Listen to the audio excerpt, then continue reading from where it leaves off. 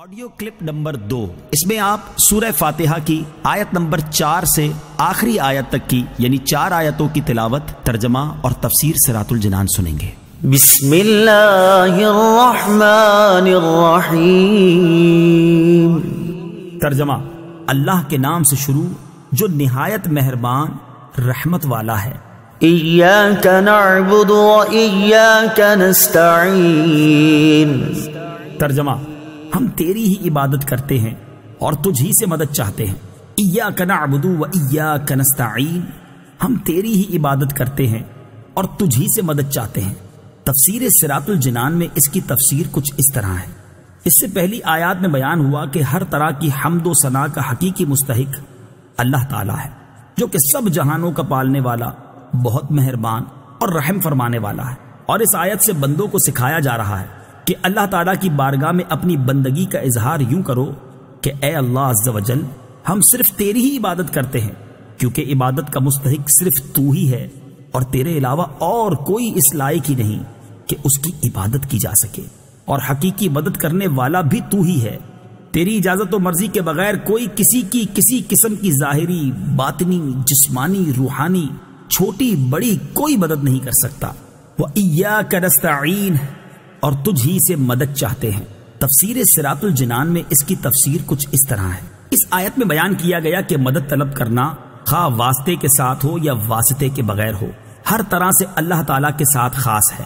اور اللہ تعالیٰ کی ذات ہی ایسی ہے جس سے حقیقی طور پر مدد طلب کی جائے۔ اعلی حضرت امام احمد رضا خان علیہ رحمت الرحمان فرماتے ہیں، حقیقی مدد طلب کرنے سے مراد یہ ہے کہ جس سے مدد طلب کی جائے، اسے بذات قادر مستقل مالک اور غنی بے نیاز جانا جائے کہ وہ اللہ تعالیٰ کی عطا کے بغیر خود اپنی ذات سے اس کام یعنی مدد کرنے کی قدرت رکھتا ہے۔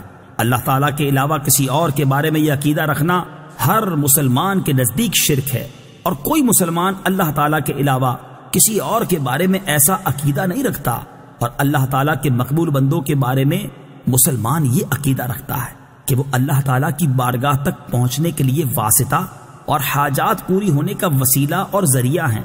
تو جس طرح حقیقی وجود کہ کسی کے پیدا کیے بغیر خود اپنی ذات سے موجود ہونا اللہ تعالیٰ کے ساتھ خاص ہے، اس کے باوجود کسی کو موجود کہنا اس وقت تک شرک نہیں، جب تک وہی حقیقی وجود مراد نہ لیا جائے۔ یوں ہی حقیقی علم کہ کسی کی عطا کے بغیر خود اپنی ذات سے ہو اور حقیقی تعلیم کہ کسی چیز کی محتاجی کے بغیر از خود کسی کو سکھانا اللہ تعالیٰ کے ساتھ خاص ہے۔ اس کے باوجود دوسرے کو عالم کہنا یا اس سے علم طلب کرنا اس وقت تک شرک نہیں ہو سکتا جب تک وہی اصلی معنی مقصود نہ ہو۔ تو اسی طرح کسی سے مدد طلب کرنے کا معاملہ ہے کہ اس کا حقیقی معنی اللہ تعالیٰ کے ساتھ خاص ہے اور وسیلہ و واسطہ کے معنی میں اللہ تعالیٰ کے علاوہ کے لیے ثابت ہے اور حق ہے۔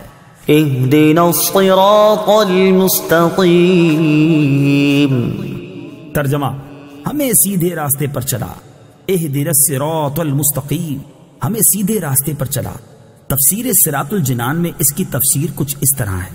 اللہ تعالیٰ کی ذات و صفات کی معرفت کے بعد اس کی عبادت اور حقیقی مددگار ہونے کا ذکر کیا گیا۔ اور اب یہاں سے ایک دعا سکھائی جا رہی ہے کہ بندہ یوں عرض کرے، اے اللہ عز و جل تو نے اپنی توفیق سے ہمیں سیدھا راستہ دکھا دیا۔ اب ہماری اس راستے کی طرف ہدایت میں اضافہ فرما اور ہمیں اس پر ثابت قدم رکھ۔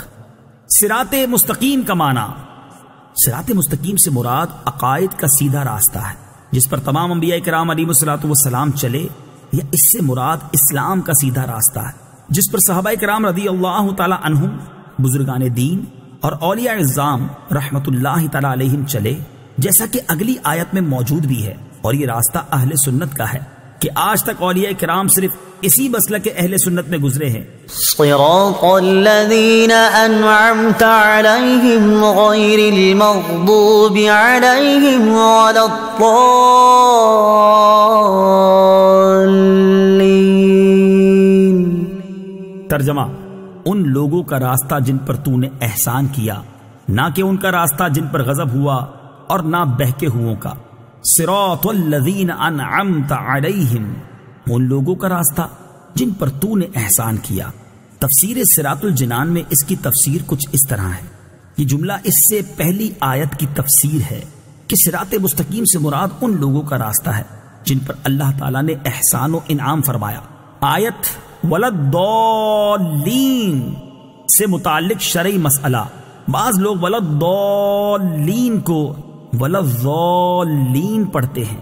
ان کا ایسا کرنا حرام ہے۔ اعلی حضرت امام احمد رضا خان علیہ الرحمت الرحمان فرماتے ہیں دود ذال، زا، سب حروف متبائنہ متغائرہ یعنی ایک دوسرے سے جدا جدا حروف ہیں۔ ان میں سے کسی کو دوسرے سے تلاوت قرآن میں قصدن بدلنا، اس کی جگہ اسے پڑھنا۔ نماز میں ہو، خواہ بیرون نماز، حرام قطعی و گناہ عظیم۔ افطرا اللہ و تحریف کتاب کریم ہے۔ آمین۔ اس کا ایک معنی ہے۔ اے اللہ عز و جل تو قبول فرما۔ دوسرا معنی ہے۔ اے اللہ عز و جل تو ایسا ہی فرما۔ آمین سے متعلق شرعی مسائل۔ نمبر ایک، یہ قرآن مجید کا کلمہ نہیں ہے۔ نمبر دو، نماز کے اندر اور نماز سے باہر جب بھی سورہ فاتحہ ختم کی جائے تو اس کے بعد آمین کہنا سنت ہے۔ نمبر تین، احناف کے نزدیک نماز میں آمین بلند آواز سے نہیں بلکہ آہستہ